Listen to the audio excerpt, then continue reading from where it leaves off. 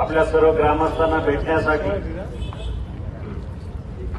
महायुतीमधील अधिकृत उमेदवार राष्ट्रवादी काँग्रेस पक्षाच्या चिन्हावर उमेदवारी अर्ज भरून आपल्यासमोर आलेलो आहे.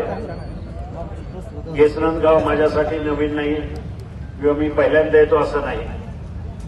गेल्या या सर्व ग्रामस्थांच्या गेल्या अनेक वर्षापासूनचे माझे जवळचे संबंध आहेत.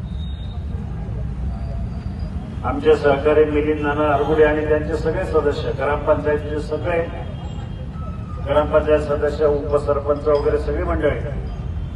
प्रत्येकाशी माझा वैयक्तिक संबंध गेल्या पाच वर्षांमध्येच नव्हे तर गेल्या दहा बारा वर्षापासून आहे. केसरन गावामध्ये अनेक ज्या ज्या काही अडचणी आहेत त्या आपण सोडवण्याचा प्रयत्न केला. अगदी खासदार असताना आणि खासदार नसताना सुद्धा. नानांनी सांगितलं खासदार नसताना जवळजवळ आपण पीएमआरडी असेल किंवा इतर मार्गाने. साडेचार पाच कोटी रुपयाचा निधी अनेक रस्त्याच्या माध्यमातून आपण दिलेला आहे. आपल्या ग्रामपंचायतीचा कारभार एक चांगल्या पद्धतीनं यशस्वी पद्धतीनं चाललेला मी पाहिलेला आहे. अनेक योजना आपण महत्वाकांक्षी योजना राबवण्यासाठी आपले सातत्यानं या ग्रामस्थांचे प्रयत्न असतात. आणि म्हणून जेव्हा जेव्हा गरज पडेल तेव्हा मी आपल्या पार्टीची खंबीरपणे उभं राहण्याचा प्रयत्न केलेला आहे. पण आजची निवडणूक ही देशाची निवडणूक आहे.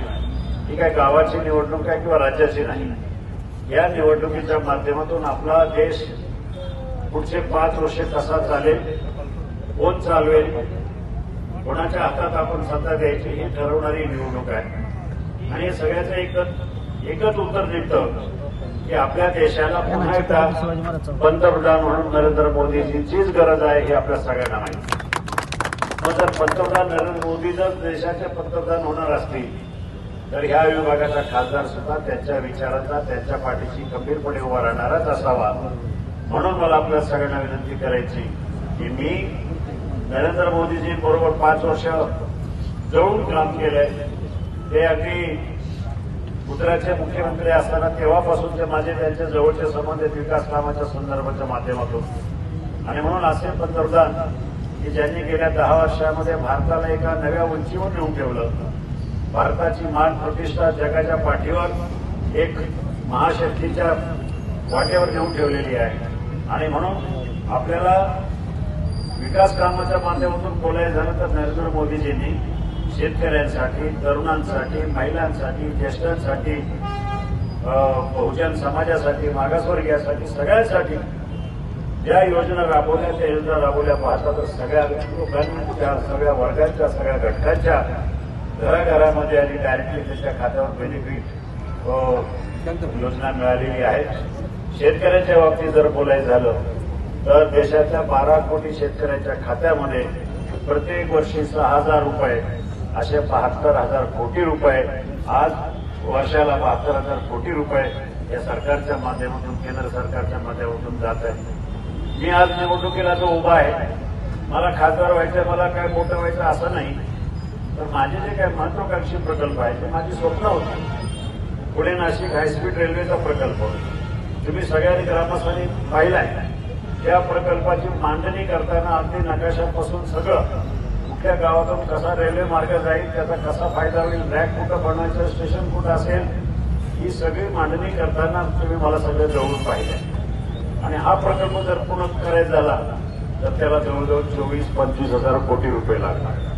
आता हे पंचवीस हजार कोटी रुपये ह्या कामासाठी आणि वाहतुकीच्या महामार्ग असतील कुठं फ्लायओव्हर असतील चाकरची ट्रॅफिक असेल आपली वाघोलीची ट्रॅफिक असेल या सगळ्या ट्रॅफिकच्या प्रश्नासाठी पुणे जिल्ह्यातल्या निदान आपल्या शिरूर लोकसभा मतदारसंघातील ट्रॅफिकच्या समस्या सोडवायला कमीत कमी वीस पंचवीस हजार कोटी रुपयाची गरज आहे. म्हणजे शिरूर लोकसभा मतदारसंघासाठी जर आपल्याला पन्नास हजार कोटी रुपये जर लागणार असतील तर मोदीजींच्याच विचाराचा खासदार जर निवडून दिला तर ती कामं होती अन्यथा गेल्या पाच वर्षात आपण जो खासदार निवडून दिला त्या खासदाराच्या माध्यमातून एकही रुपया केसरंदा काय शिरूर लोकसभा मतदारसंघामध्ये केंद्राचा एकही रुपया आला नाही. असा खासदार निवडून आपल्या मतदारसंघाचं नुकसान जर करायचं झालं तर त्याचा काही अर्थ राहणार नाही. म्हणून आपल्याला सगळ्यांना सांगायचं आहे आता ते माणसं येतील परत आपल्याला भावनिक हाक घालते. सहानुभूती निष्ठा त्या गप्पा मारतील परंतु सहानुभूती निष्ठा पेक्षा आम्हाला विकास कामं महत्वाची आहेत. आणि माझ्या निष्ठा आपल्या सगळ्यांना माहिती की माझ्या गोरगरीब जनतेशी शेतकऱ्यांशी माझ्या माता भगिनीशी माझ्या निष्ठा आहे. त्या मायबाप जनतेनं मला निवडून दिलं त्यांच्याशी माझ्या निष्ठा आहे. आणि म्हणून आपला आपलं जास्त मी काही प्रश्न बोल न बोलता एवढं सांगेन. की येणारी निवडणूक ही तुमच्या आमच्या दृष्टीनं आपल्या हवेलीच्या दृष्टीनं अतिशय मोलाची आणि महत्वाची आहे. म्हणून आपण ह्या वेळेला कुठल्याही परिस्थितीत येणाऱ्या तेरा तारखेला माझं चिन्ह आहे घड्याळ घड्याळाच्या चिन्हाच्या बाजूचं बटन दाबून मला विजय करा. एवढीच या ठिकाणी विनंती करून थांबतो. धन्यवाद.